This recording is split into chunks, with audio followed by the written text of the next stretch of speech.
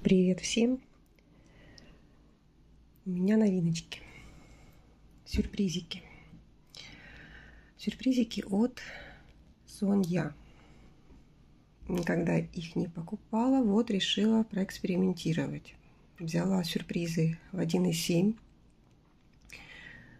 Хочется поиграть в лотерейку, чего я обычно не люблю. Но Сонья я раньше не покупала, вот решилась. Продавалась 5 сюрпризиков дешевле, чем один за штуку, соответственно. Поэтому взяла 5. И посмотрите, какие пришли красивенькие. Крупненькие. Вот. 1,7. Ну, это один вот самый такой большой. Брала я их у Натальи Голубенко. Подписала вот так вот, чтобы было понятно, кто есть кто, чтобы следить за ними, смотреть, как они развиваются. Получила, считай, неделю назад их. Брала самовывозом, потому что похолодало, решила, не буду экспериментировать. И так думала, вообще будут малыши. Но вот это самый крупный малыш. У него листья почти как раз, в размере два с половиной. Некоторые даже бывают и меньше два с половиной. И хорошие вот корешки. Вот эти листики ласочные, они начали желтеть после полива. Я их полила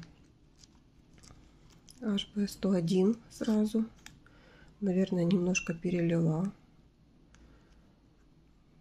Сначала подумала, что, наверное, будет маловато, пыталась их по чуть-чуть отпаивать, но что-то потом, видимо, больше долила, чем нужно. Ничего. Сняла немножко верхний слой мха для того, чтобы ничего там не загнило. Посмотрим. Вот эти желтенькие надо снять. В общем, вот так выглядят сюрпризики.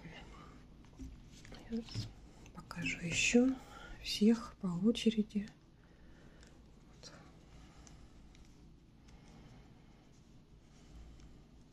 Здесь больше продолговатые листики. Если кто-то знает, кто это может быть, пишите в комментариях. Я буду очень рада, потому что вот эти гадалки начались. Смотришь, какие же там орхидейки приходили у Сонья раньше, и думаешь, кто же это, кто похож. Вот такие продолговатые листики.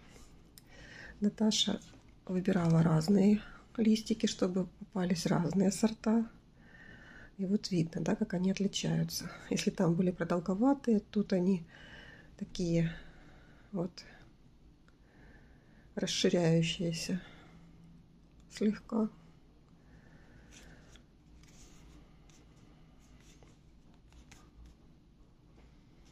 Корешки везде есть.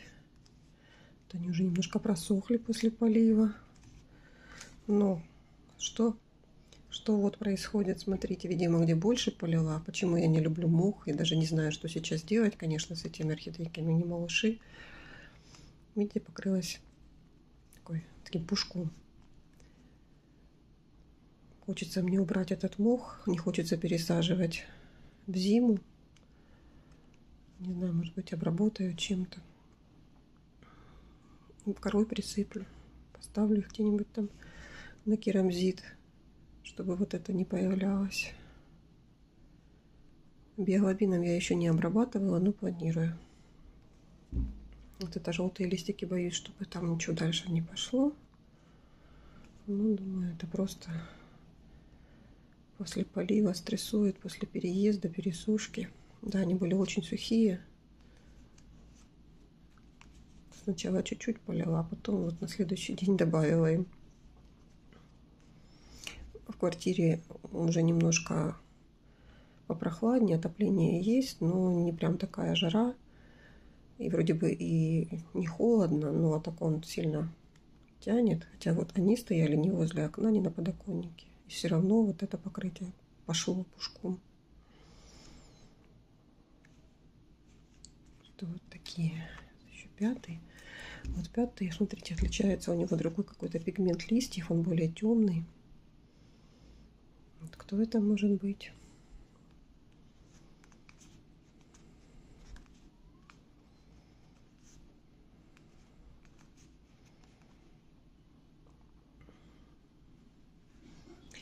И еще одна у меня новиночка. Тоже моя мечталка когда-то. Но это уже известная новиночка. Это у нас вот так называется Тайвань Леопард Пилорик Трилипс. Тоже были они в заказе у Мики. Одновременно я их забрала очень крупное растение. Наташа мне дала выбрать их из тех, что были. Хорошие листики. Там, в принципе, все были хорошие. Цветоносиков нигде не было. Но выбрала так, чтобы хорошая корневая. Ну, нормальные листики.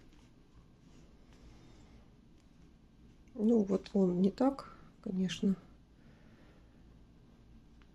самхом пострадал. Но тем не менее. Вот его, наверное, проще. Там чуть-чуть снизу пропиталось, и он не покрывается. А вот эти, они покрываются. Если э, мох пропитан до верха. Я взяла чуть-чуть сверху полила, потому что совсем пересушенные были. Видимо, из-за прохлады не просохла быстро, и вот она покрылась. Не нравится мне такое. Но орхидейки для размера 1,7 очень даже неплохие. Вот так они выглядят. Поставлю их в одну подставочку. Вот такую я им придумала. Вот четверых, по крайней мере. Ну, это пока, это пока я не придумала новую им. По крайней мере, сейчас они так у меня стоят. Так, у меня стоят в профар 4 штучки. Где один с цветоносиком. И вот так вот этих хотела поставить. Но вот этот мох меня, конечно, убивает. Наверное, я вот, из-за которых особенно боюсь. Наверное, все-таки сниму мох, немножко его распушу и сверху присыплю кору, потому что это как бы опасненько.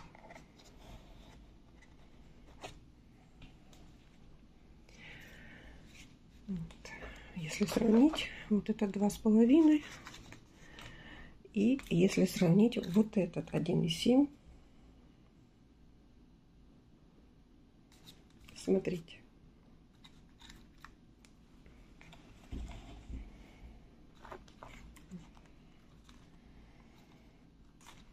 Видите? Вот это два с половиной, который э, Тайвань Леопард, он, он крупненький, два с половиной, он не маленький. И вот это. Эти, конечно, меньше 1,7. Ну, а этот такой хороший. Это, наверное, какой-то сорт, который с крупными листьями. Мне почему-то напоминает Леодора. Все может быть, потому что в Леодора там в сюрпризах есть. Леодора у меня, кстати, есть бабочка, поэтому посмотрим, что получится. В общем, девочки и мальчики, какие у вас варианты? Хотелось бы очень послушать ваши предположения. И заодно вот как раз поучаствует вот эта поставочка в 1,7, эти сюрпризики в моем эксперименте. Как у меня будут на моем освещении расти эти орхидейки.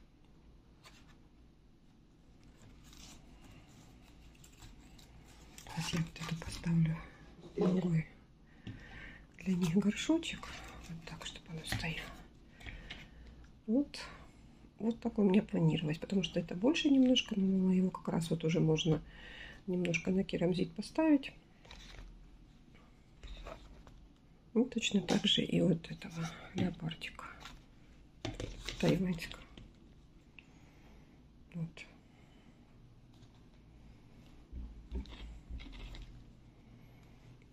Немножко, наверное, искажается, потому что на фоне Смотрите, вот так даже не отличишь по листьям, что это 1,7 и 2,5. Те, которые справа, их, конечно, видно, что это 1,7. Так что такие у меня новости. Новиночки, конечно, радуют. Посмотрим, что с ними будет. Как они подрастут за зиму. Если все, конечно, у нас хорошо будет с освещением, отоплением. В общем, жду ваши догадки. Всем спасибо. Всем пока.